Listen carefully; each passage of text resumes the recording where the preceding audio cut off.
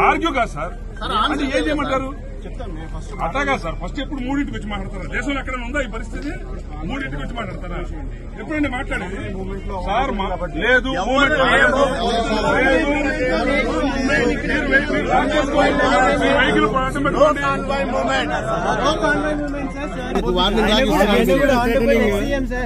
పెట్టుకోండి. దానికోసమే మేము రిక్వెస్ట్ చేస్తున్నాం. పడుకొని. ఇప్పుడు మీరు రాకపోతే మీరు వచ్చారు కానీ మీరు మీరే ఒప్పుకొని వచ్చారు అందరు ఇటు పక్కకి. అంతే తప్ప ఎవరు రాలేదు లోపలికి ఎవరు రాలేదు సార్. ఆ గేట్లు తీసేసింది మీరు. ఆర్గ్యూ కాదు సార్. ఏం చేయమంటారు? అట్లాగా సార్ ఫస్ట్ ఎప్పుడు మూడింటికి వచ్చి మాట్లాడతారా? దేశంలో ఎక్కడ ఉందా ఈ పరిస్థితి? మూడింటికి వచ్చి మాట్లాడతారా? ఎప్పుడండి మాట్లాడేది సార్ మా- లేదు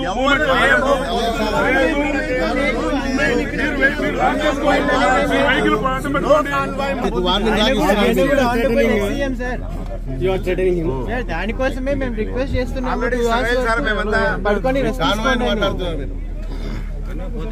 ఇప్పుడు మీరు రాకపోతే మీరు వచ్చారు కానీ మీరు మీరే ఒప్పుకొని వచ్చారు అందరు ఇటు పక్కకి అంతే తప్ప ఎవరు రాలేదు లోపలికి ఎవరు రాలేదు సార్. ఆ గేట్లు తీసేసింది మీరు?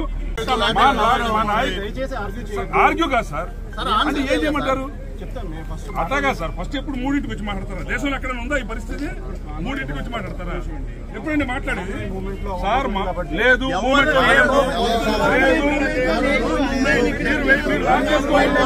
వెహికల్ పెట్టుకోండి. ఇంత అర్ధరాత్రి వచ్చి ఇంత హంగామా చేసి నన్ను అరెస్ట్ చేయాలని ఇవన్నీ చేయడం అనేది మీరు చేసే ఇది అరాచకాలు అవన్నీ దానిపైన మీరు మమ్మల్ని దబాయించి మమ్మల్ని బెదిరించే పరిస్థితికి వస్తే అంటే ఎక్కడికి పోతుంది ఈ ప్రజాస్వామ్యం? మాకు అర్థం కాలేదు. రాజ్యాంగం మీకు ఏమైనా ప్రత్యేకమైన హక్కులు ఇచ్చుంటే నాకు తెలియదు. సార్ నైట్ వన్ థర్టీ నుంచి మార్నింగ్ ఫైవ్ వరకు ఎందుకంటే నేను ఎక్కడికి ఉన్నాను కదండి. ఆ టైంలో రావాల్సిన అవసరం వచ్చిందండి? రెస్పెక్టెడ్ యువర్ కాదండి మీకు ఎందుకు వచ్చింది అవసరం? నేను రోడ్డు మీద ఉన్నాను కదా నేను ఎక్కడికి పారిపోతానా? నాకు ఎన్ఎస్జీ ఉన్నారు పది మంది ఒక ఉన్నారు. నేను ఎన్ఎస్జీ ప్రొటెక్టివ్ని అప్పుడు నేను మాజీ. ముఖ్యమంత్రిని. మీరు ఇచ్చే గౌరవం ఇదేనా నాకు? రాత్రి మిడ్ నైట్ రావాల్సినంత అవసరం సార్, ఏమొచ్చింది? టెర్రరైజ్ చేయాల్సినంత అవసరం ఏమొచ్చింది మేము మిమ్మల్ని ఎక్కడ డిస్టర్బ్ చేయలేదు సార్. అందుకని డిస్టర్బ్ చేయకుండా ఎట్టుంటారండి? ఎన్ని జరుగుతామని డిస్టర్బ్ చేయలేదు మీరు అంటే ఏ విధంగా డిస్టర్బ్ చేయకుండా ఉంటారు మీరు నన్ను? డిస్టర్బెన్స్ లేదని మీరు అంటున్నారు. నిన్నటి నుంచి మీరు చేసింది ఏంటి? అరాచకమే కదా ఇక్కడంతా. ఏం తప్పు చేశాం మేము ఇక్కడ? మీరు కనీసం కోర్టులో ఉంటే ఆ జడ్జిమెంట్స్ కూడా చూపించలేకపోతున్నారు మీరు. సార్. మేము అడిగేది అంటే ఒక నిమిషం మీరు అర్థం చేసుకోండి. ఎంతో మంది మమ్మల్ని అరెస్ట్ చేస్తున్నారు గోడ దూకులు తీసుకుపోతున్నారు కొడుతున్నారు బది బెరంతలు చేస్తున్నారు. ఓకే ఇప్పుడు నా దగ్గరికి వచ్చారు మీరు. వచ్చి నన్ను రమ్మంటున్నారు. దేనికి రమ్మంటున్నారు చెప్పమంటే మీరు చెప్పకుండా నన్ను రావాల్సిందేనంటే ఎక్కడ? దీనికి ఏంటి? మీకు అద్దె ఎక్కడ? పూర్తి వివరాలు రిమాండ్ రిపోర్ట్ మీరు ఇస్తారండి. నాకు ముందు చెప్పాలి కదా నన్ను త్రీ నాట్ ఫోర్లో పెట్టి లీగల్ కౌన్సిల్ మళ్ళీ ఇస్తారండి. ఇప్పుడు ఎందుకు నన్ను రిమైండ్ చేయాలంటున్నా? అలాంటప్పుడు అది ఇచ్చి రిమైండ్ చేయండి. తెప్పించండి. నేను ఇక్కడే ఉంటే ఇక్కడ పారిపోను. ఆల్రెడీ మీ ప్రాసెస్ కాదు సార్. నేను అడిగే ప్రాసెస్ చేసి నన్ను అరెస్ట్ చేయండి అంటున్నా. నేను వస్తానన్న ఇది వెనకాల. నాకు కూడా లీగల్ రైట్ ఉంది. వీటిని లింక్ చేసిన డాక్యుమెంట్స్ ఎఫ్ఐఆర్లో పేరు లేదు నేను ప్రొవైడ్ చేస్తా ఉంటామండి ఇస్తే బాగుంది.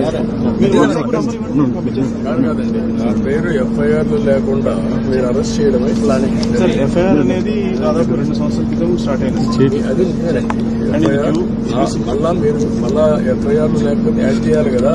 సార్ నాకు కాదు ఇప్పుడు ముందు అరెస్ట్ నోటీస్ ఇచ్చారు. ఎఫ్ఐఆర్లో పెట్టకుండా.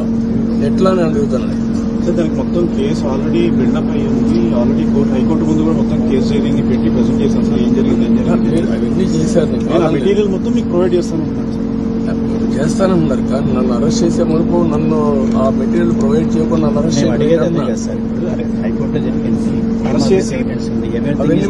కదా.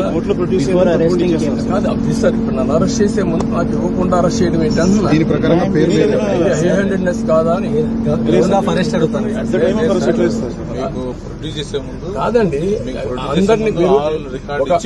కాదండి ఒక ఒక వ్యక్తిని అరెస్ట్ చేసేటప్పుడు కామన్ మ్యాన్ కూడా రైట్ మిమ్మల్ని అరెస్ట్ చేసేటప్పుడు మిమ్మల్ని దేని కొరకు అరెస్ట్ చేస్తున్నామని చెప్పి ప్రీమా గా చూపించి అరెస్ట్ చేయాలన్నా లేదా? అరెస్ట్ చేయాలి అలా చేయాలి కదా ప్రిమా ఫేసీగా మీ మీద ఈ అలిగేషన్స్ ఉన్నాయండి అని చెప్పేది రైటింగ్లో ఏదైనా చూపించి ఇవ్వాలి. బిఫోర్ అరెస్టింగ్ చూపించాలని మేము అంటున్నాము. మీరు రిమాండ్ చేసేటప్పుడు చూపిస్తామని మీరు అంటున్నారు. That is only the controversy ఇది Before ఇది arresting, సార్ you